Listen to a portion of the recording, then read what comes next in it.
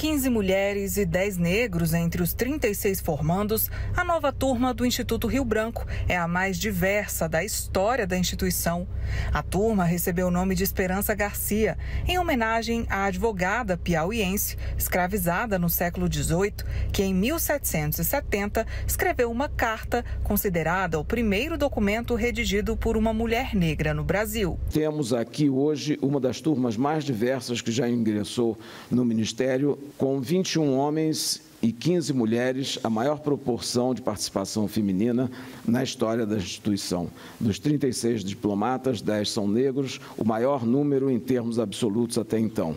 A turma tem também uma diversidade regional marcante, como foi dito, com alunos vindos de todas as regiões do Brasil, além dos sete intercambistas estrangeiros da Argentina, Cabo Verde, Equador, Guiné-Bissau, Japão, Quênia e Suriname. Ser um representante de um país que tem um povo mega diverso, como disse a Cecília aqui.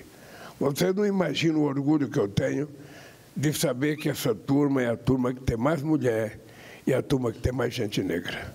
O ministro Mauro Vieira destacou que no ano em que o Brasil preside o G20, o edital do concurso de diplomacia de 2024 trouxe pela primeira vez uma medida para garantir que ao menos 40% dos candidatos nas fases finais sejam mulheres. O ministro das Relações Exteriores citou ainda os diversos desafios vividos pela diplomacia brasileira nos dias atuais e anunciou medidas para aumentar cada vez mais a representatividade na carreira. Dentre as medidas que estamos considerando, encontram-se a adoção de critérios mais objetivos, previsíveis e transparentes para ascensão até os estratos intermediários, a criação de trilhas profissionais distintas e optativas e a introdução de mecanismos mecanismos para acelerar a, representatividade de gênero e, e ético, étnico-racial em todas as classes da carreira diplomática. Ao parabenizar a nova turma, o presidente Lula ressaltou que o país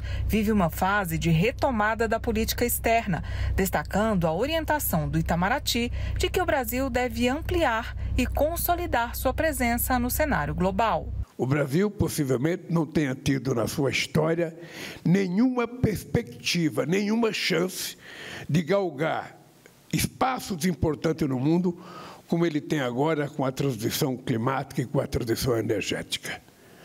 Nunca o mundo viu o Brasil com tanta importância. Não é só por causa do agronegócio, não é só por causa do minério de ferro, não é só por causa da soja, não é só por causa da carne. É porque o Brasil, em se tratando de energia, o Brasil é um país imbatível. Basta que a gente seja grande, pense grande, acorde e transforme esse sonho em realidade.